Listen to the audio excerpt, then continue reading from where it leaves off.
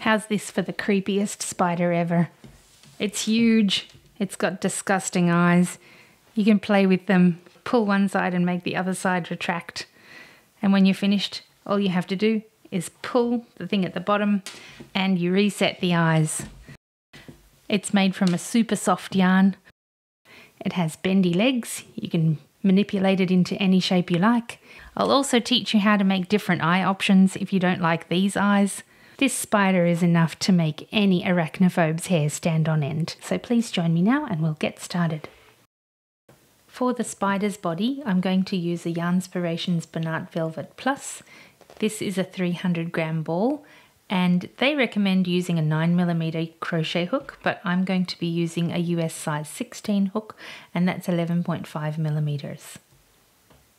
You can make the spider's body with anything you like. You can use some kind of ball or you could stuff it with regular stuffing. I want something heavy so I thought of a lawn bowls ball or a weight training ball. This one has soft sides. Or you could use a bocce ball. This is filled with water. Or if you want a light one, you could use a large size high bounce ball. I'm going to use a regular size high bounce ball for the head. And I'm going to use the bocce ball for my spider's body. It's about four and a half inches or 11 and a half centimeters in diameter. We're going to start with the spider's body. And as always, I have an anchor knot in the end of my yarn. This is so that it won't come undone when we've finished.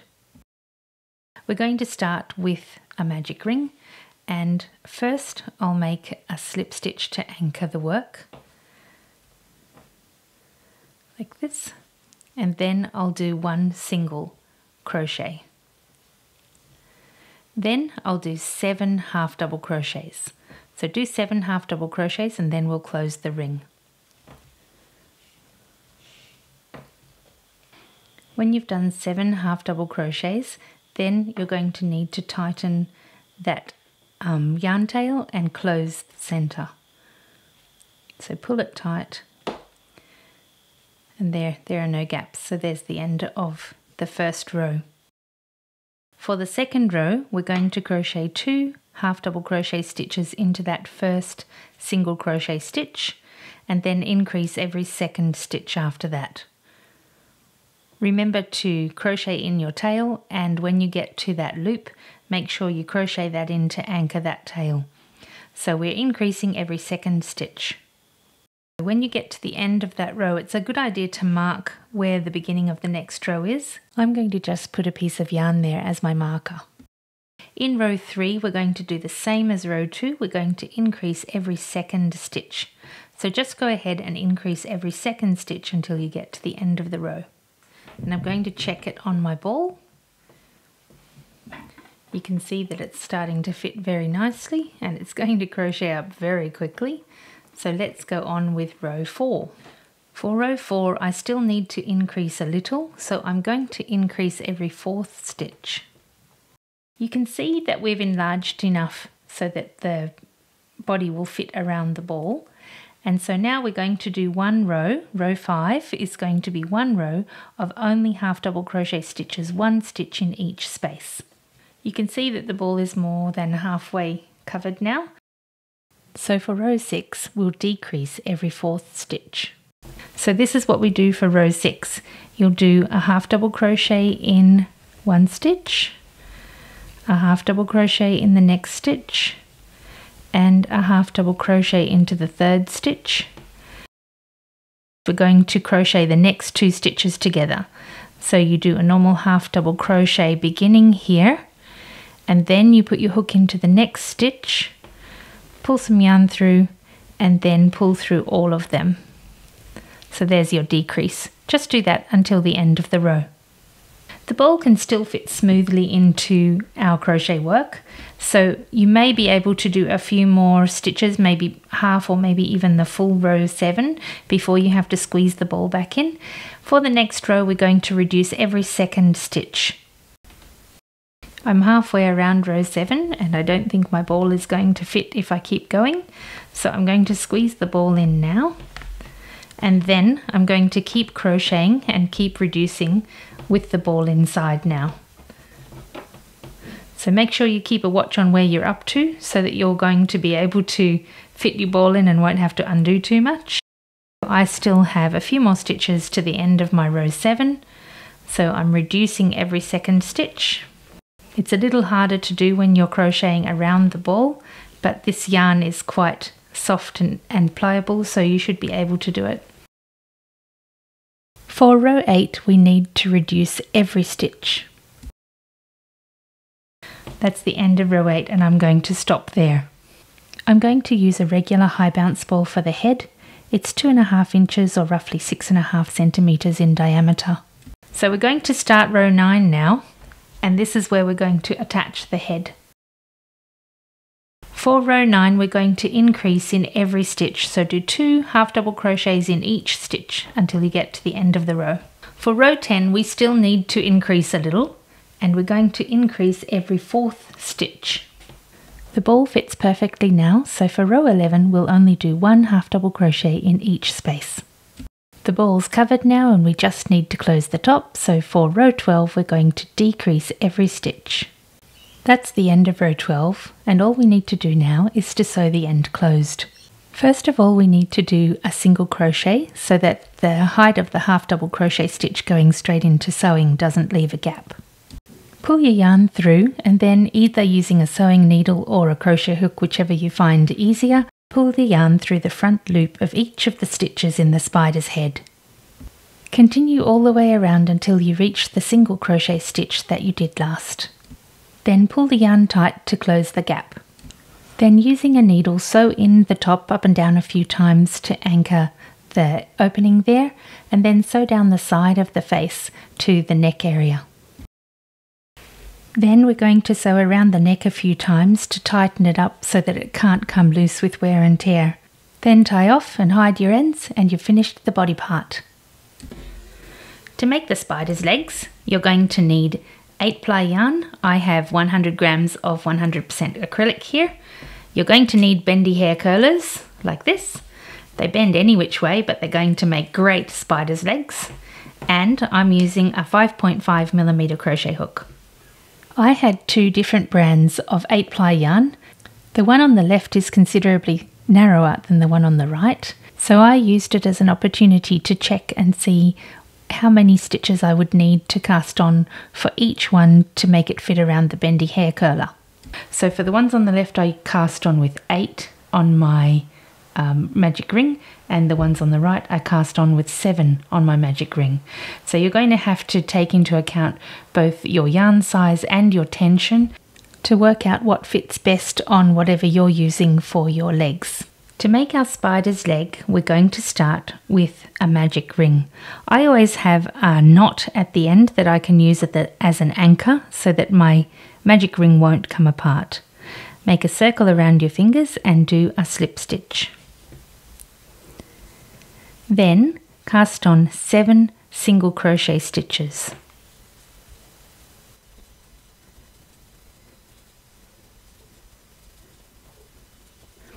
Pull your ring tight to close the gap in the center.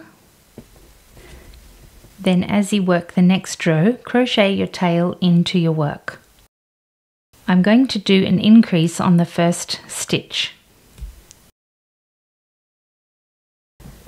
So we'll do two single crochets into the first stitch. Then we'll do a single crochet in the next stitch and then an increase and alternate to the end of the row. This is exactly the right size for my bendy hair curlers. Your bendy hair curler size may be larger.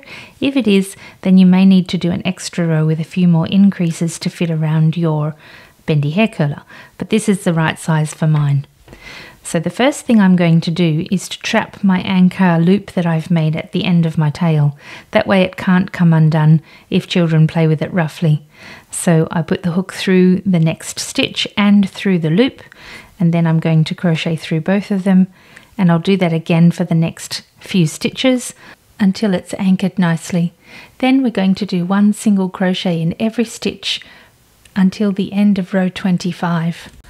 So I just finished row 25 and this is roughly where I'd like to start the curve in the spider's leg. So for row 26, what I'm going to do is I'm going to crochet two single crochets and then I'm going to do four half double crochets so here's one two three and four and what this will do is by making these stitches slightly larger than the other stitches this will be able to make that shape around the top of the spider's knees. So the rest of the row will do just single crochets.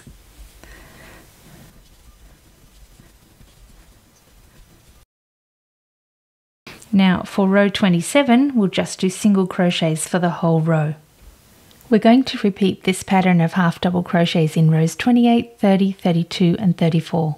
So I've just finished row 34 and with those five rows of half double crochets in the front you can see that that's starting to curve.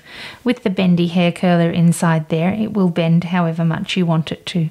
So for rows 35 through to 49 we're just going to do a single crochet in each stitch.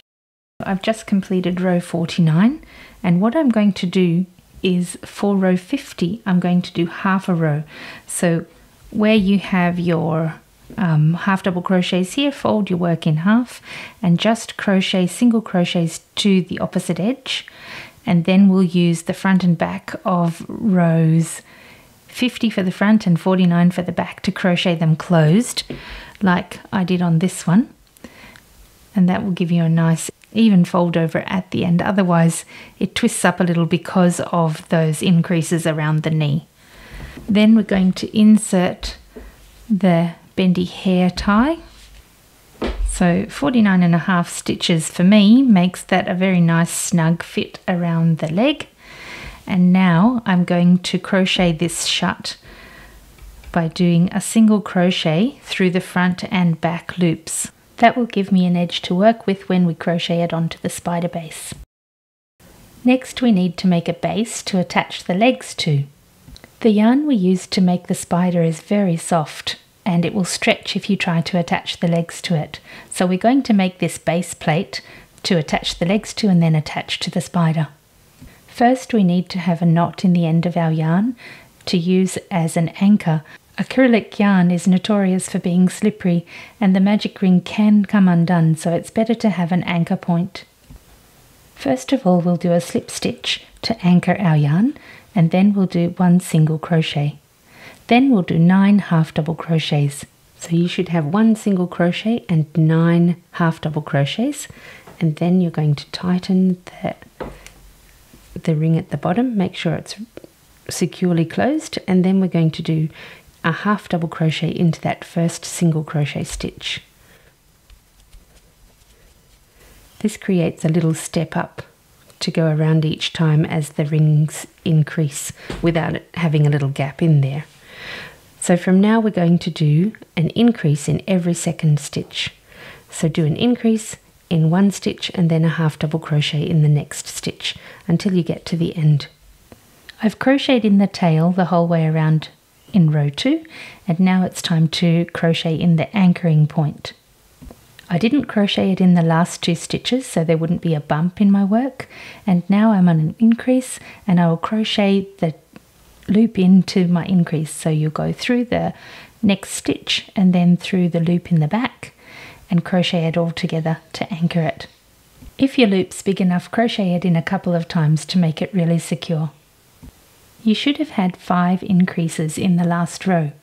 We're going to make this into a very decidedly pentagon shape, we want to have sharp points to attach our legs to.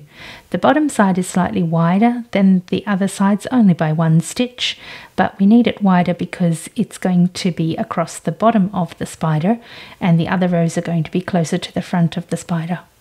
Now it is helpful to, to mark your work, so here's how I mark my work with just a scrap of yarn and so I'll be able to see when I get to the next row. It's easier on most colours but black is a little bit difficult to see. So for row 3 what we're going to do is we're going to do a half double crochet in each stitch that wasn't an increase and in the stitches that were an increase, here's my increase here, you can see there's two half double crochets there, I'm going to do three half double crochets in that space. So there should be five places where you do three half double crochets as you go around. So it will actually be an increase every third stitch and that third stitch is going to be three half double crochets in that one stitch.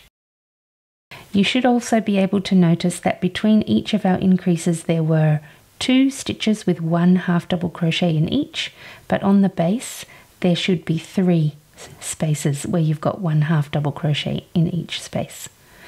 For row 4, what we're going to do is we'll crochet a half double crochet into the first of our increase point. See we had three half double crochets in one space there. We're going to do a half double crochet in the front stitch and then we're going to do three half double crochets in the back, the second of the stitches. So you're going to have one, two, three, four um, stitches where you do one half double crochet in each stitch. That's the front of that three half double crochet, remember, from our increase before. And then we're going to do three half double crochets into the second of those spaces. So do that to the end of the row. At the end of row 4, do one single crochet stitch and then we'll hide our work by sewing that stitch through um, to make it nice and neat. We're going to need enough yarn to crochet um, it into the, the body of the spider. So I'm going to cut off quite a long tail here. I'll pull that whole thing through. Then what you do is you go into the next stitch through both the front and back as you always do with crocheting and then you go into the the stitch that this piece of yarn came out of. I don't know if you can see that very well because it's black, but this stitch came out of that hole, so we're going to go into that hole, and I also go into the little, um, the little part of the stitch down below that, and I just pull that nice and neatly there, so you can hardly see where it's finished there, and we're going to attach the legs to this point and this point. Now it's time to attach the legs. I've actually tied my um, row marker onto here so it doesn't come off while I'm sewing it on so that I can remember that that is the bottom part that's going to go over the back of the body. So it points down towards the back. You may remember that I've used two different kinds of yarn. One was a softer, thinner yarn and one was slightly thicker. I'm going to put the thicker legs towards the back and it's going to be very hard to show you how I do this. So I'm going to tell you first. What I'm going to do is I'm going to crochet these legs onto the reverse side because this is what I want to be showing at the bottom.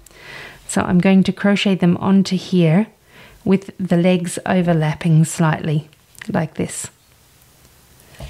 So in that small space there, we're going to fit both of the legs.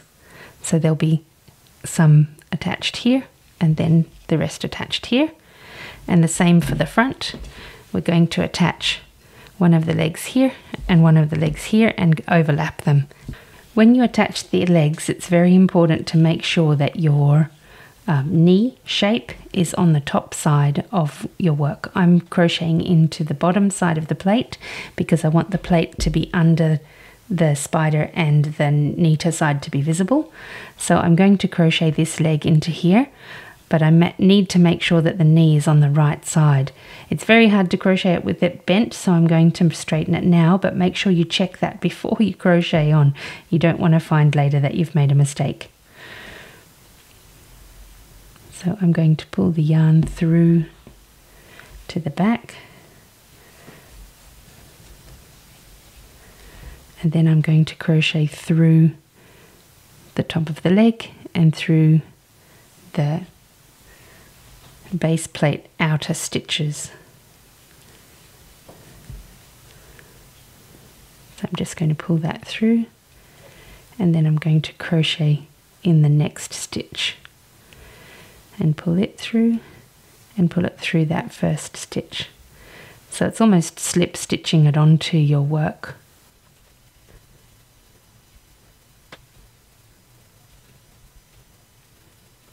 Then I'll pull all of the yarn through there at the end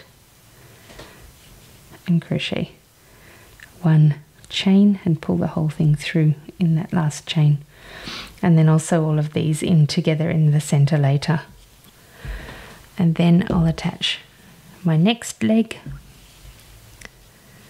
on top of that and slightly behind because that's going right up to the point.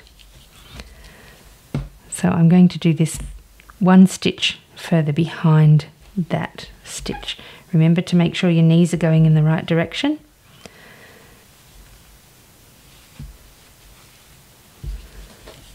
Straighten them out so that I can work. Now through the front of this and through this stitch. So I'm basically attaching it one stitch behind what I did for the previous leg and I'm going to crochet into the top of the leg itself. That's really hard to see. But just a minute, there's yarn everywhere. So what I'm doing is I'm crocheting into this new leg and I'm crocheting into the top of the previous leg that I've already attached.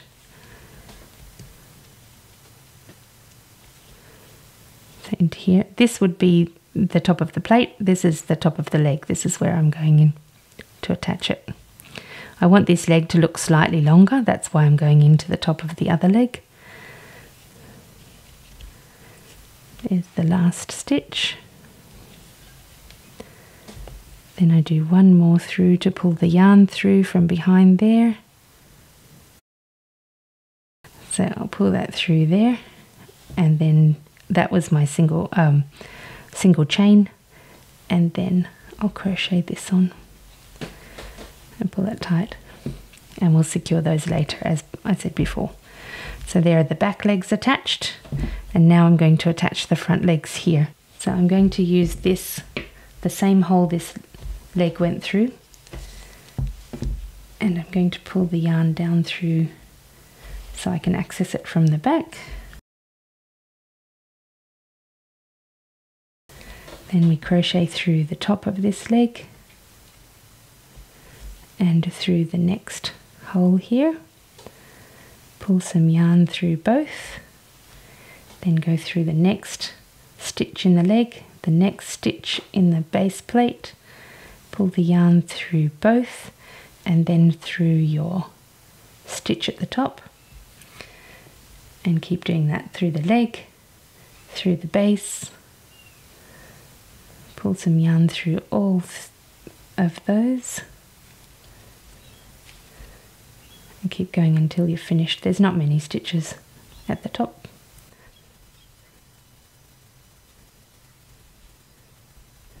pull my yarn through there, pull it through the stitch, do a single chain and pull that through. So there's three legs attached. You can see all the knees are in the right direction. And now we're going to crochet on the last one. So I overlapped most of the back legs. There are two stitches that are not overlapped. So we'll do the same for the front legs.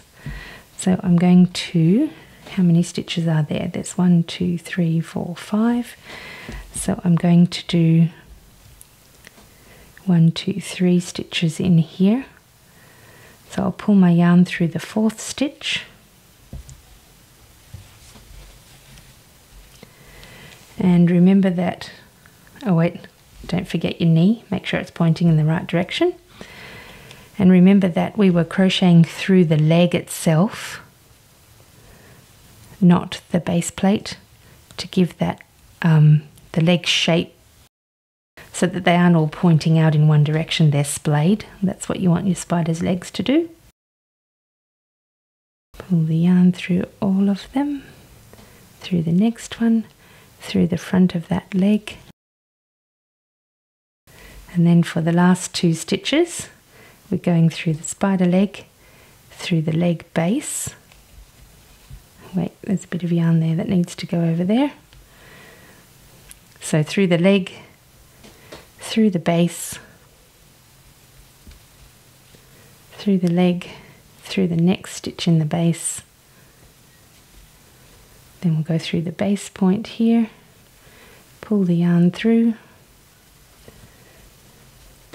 do what would be one chain, and then pull your yarn through and secure that. Make sure your knees are all right. If not, undo and redo. Had a leg going the wrong way. So now you can see how those legs are going to be all splayed out like a normal spider's legs. And we'll do the same thing to the other side. Now that the legs are all attached, we need to attach this plate with legs to the body. What you need to do is to sew all of this onto your spider's body at the bottom. So the point at the top with the legs that are close together will sew on up close to the base of the head and the bottom part that doesn't have any legs attached of course will sew to the body part there. It's going to be too difficult to record the process of that because it's a bit too big and chunky so I'm just going to sew around here and attach it all to the body as I go around and I'll show you when I'm finished. I've sewn on the legs now and I actually sewed around twice to make it stronger. And when you flip it over I've also sewn the head to the body a little bit up here so that it's not going to be a lot of pressure on just one point there. So it's sewn across the bottom and it's sewn across the top as well. And I did that twice. Now you can bend your legs make your spider look like the creepy spider that it's going to be. And here's our spider. The next thing that we have to decide is what eyes to put on. These are the spare eyes from the frog that I made if you've seen my frog video, the door stopper. Or you can make some bigger eyes, you can do whatever you like. There are so many things you can do with spider's eyes. Spiders actually have several eyes, I think it might be eight maximum, but I'm not sure of that. You can make regular round shape eyes like this. You could make like an almond shape eye. All of this is controlled by where you do your increases. So for a basic eye, you start with a magic ring of eight and then you increase every second stitch and then in the following stitches, whether you increase or not, will will determine how big the eye itself is. If you want a smaller eye, you'd start with a magic ring that's less than 8. You could even start with perhaps 5 and make a smaller eye. This eye is quite domed. Here I've made an almond shape eye almost. It's not too almond, but it has a lower rise, so it looks more flat on the head. My children actually said they prefer to have a spider with no eyes. They said that looks scarier with no eyes at all. I also tried making some pretty scary looking eyes.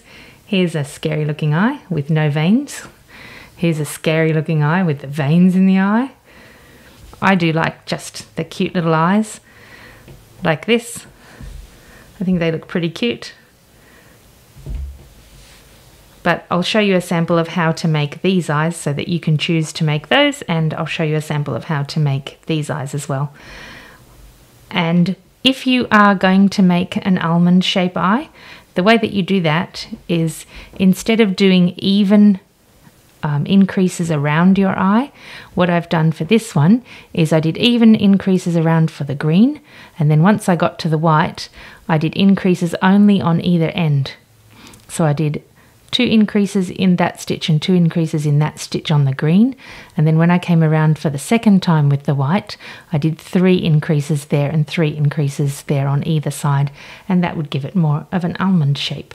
So you decide what eyes you like and I'll teach you how to make this basic eye and this creepy eye. For the eyes I'm using an 8 ply cotton in purple and white and I'm using a piece of red to make the veins and I'm using a 4mm hook. To make the eye I'm going to start with a magic ring with 8 stitches.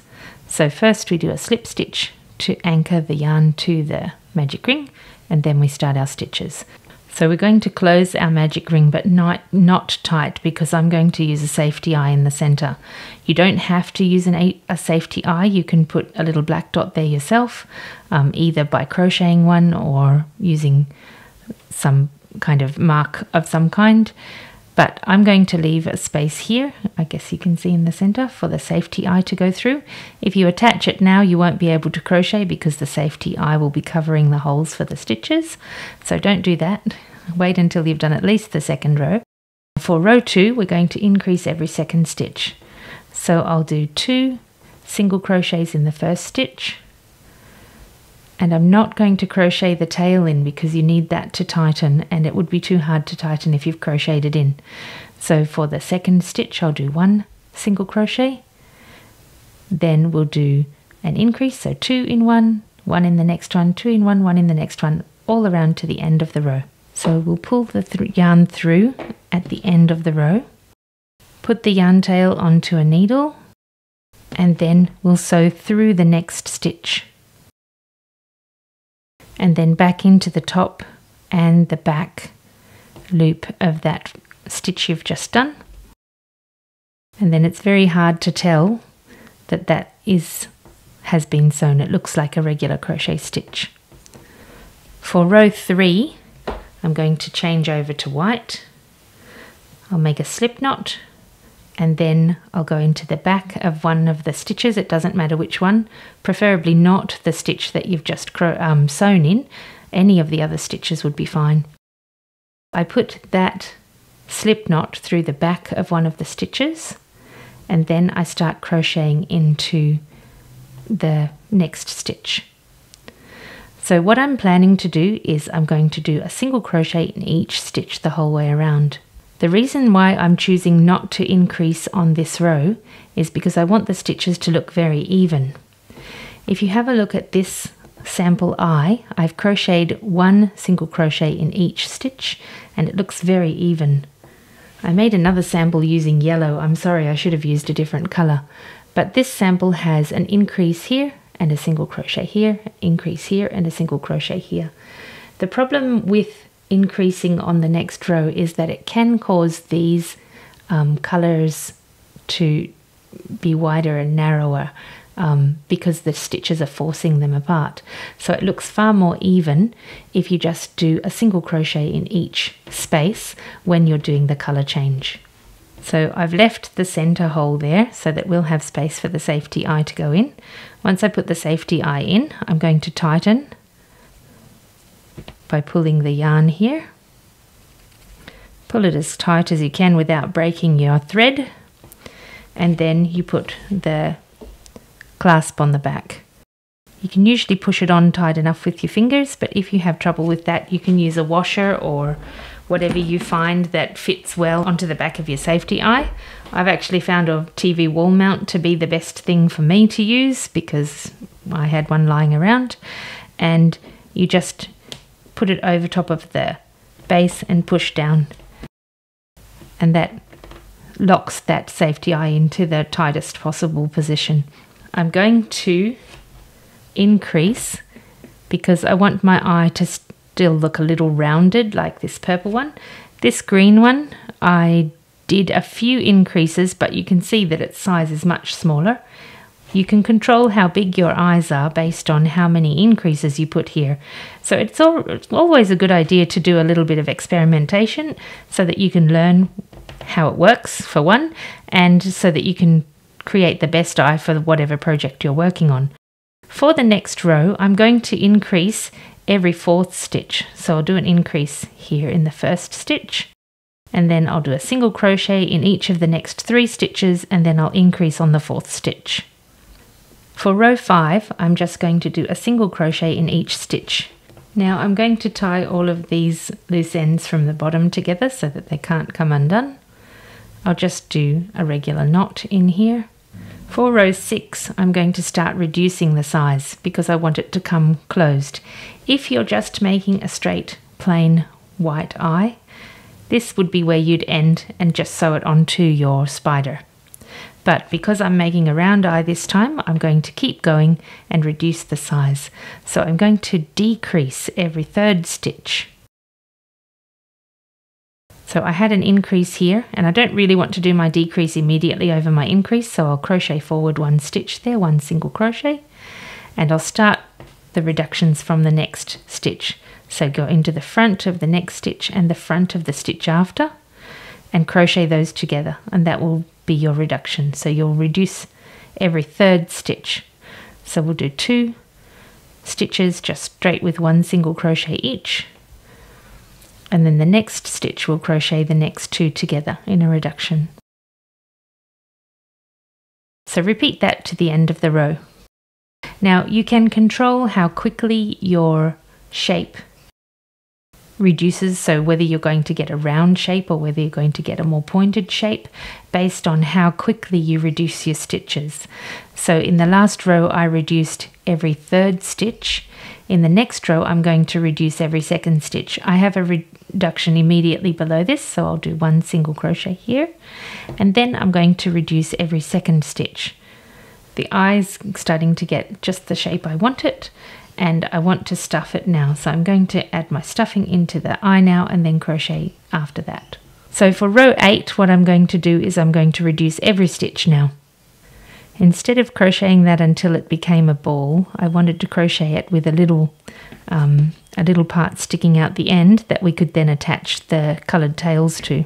So the last thing to do with this eye is to give it the scary looking veins. What I did to make the veins was I just got a piece of um, red yarn and stripped it down halfway. So I just opened it up and pulled apart two strands in each side and then just used one of those strands. So here is my strand and I just randomly started anywhere in the bottom and I just um, sewed into one stitch away each time. So there's one stitch away and then I came back into that stitch.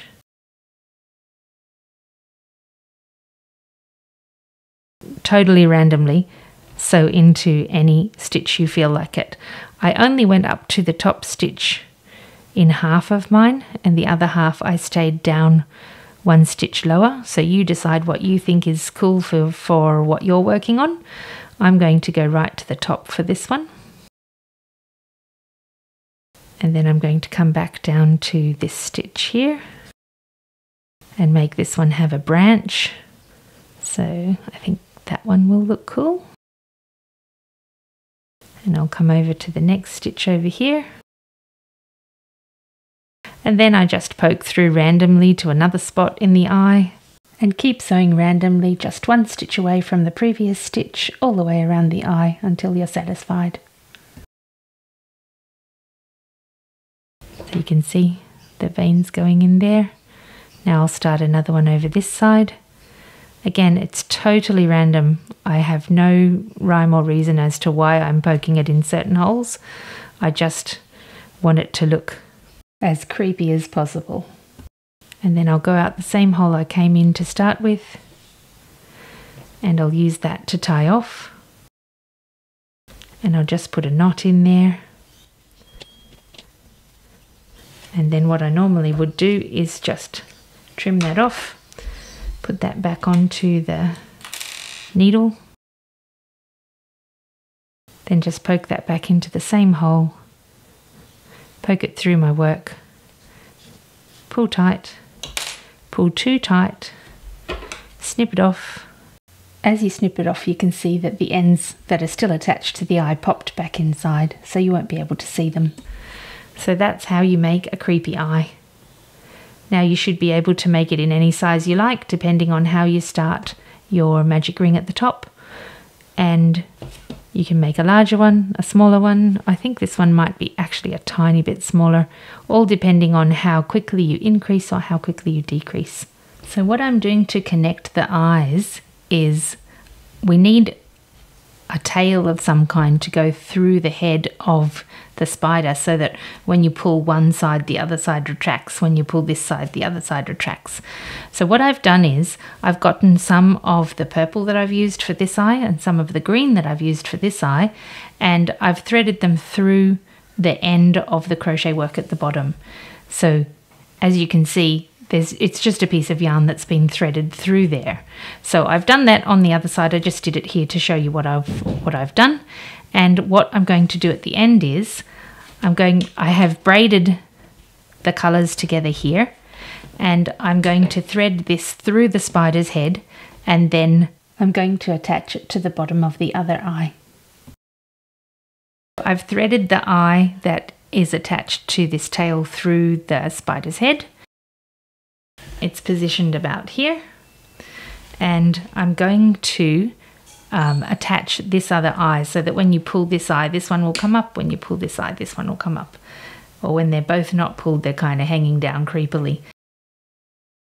You could attach more eyes on top as well, like, like this, and just have a totally, totally creepy spider. Or you could do whatever you like. But I'm just going to show you how I attach these eyes.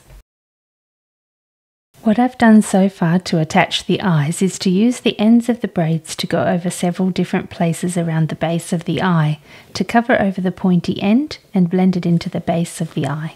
I've also used the one white yarn that was coming out of this eye and I threaded it through the stitches into the work, through the stitches again and into the work on a different point so that all that bottom is now covered and what I'm going to do is I'm going to tie knots inside this eye to hide the knots inside there.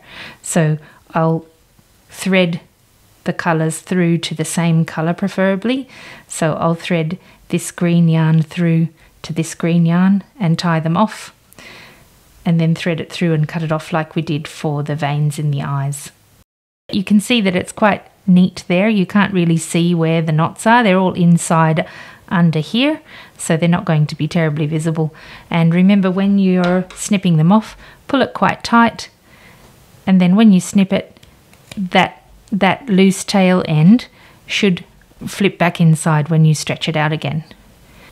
My kids said they wanted a simpler system of resetting the eyes after you've pulled the eyes down like this and had a play. They wanted to be able to reset the eyes back into close to, to the head I've used my hook to pull the connecting part through the head and then I'm going to attach some yarn. I'm going to put three long pieces of black yarn through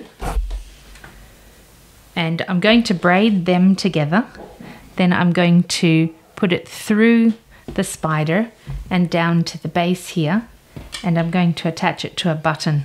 So you can pull this to reset the eyes when it's finished. So I'm just going to braid those now and then show you how it works. I attached the braid to a needle, then threaded it through the top of the head, exiting at the back of the head. Then using the same hole you exited through, put the needle back in the same hole and go straight down through the body.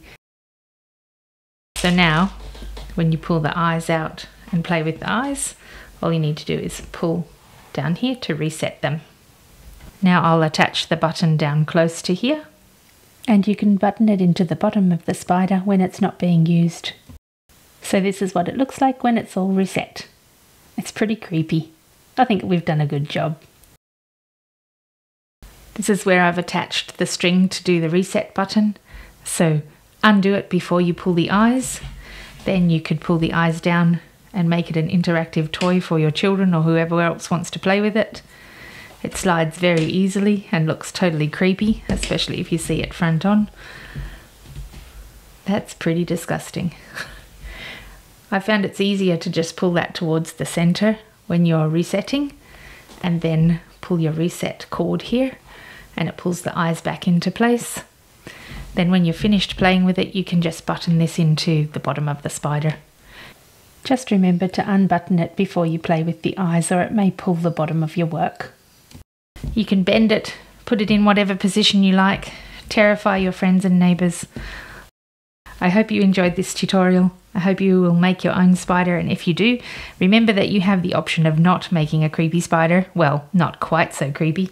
You can just put on regular regular eyes as I've shown you how to make in this tutorial. So as you can imagine, you could make quite a cute spider if you just put some plain eyes on there. You can put on as many eyes as you like, it doesn't have to be a creepy spider. I hope this tutorial was useful for you and if you did enjoy it, please consider subscribing to help my channel grow. If you'd like to try another fun project, check out my squashed frog doorstopper tutorial. It's an easy project and it's hilarious.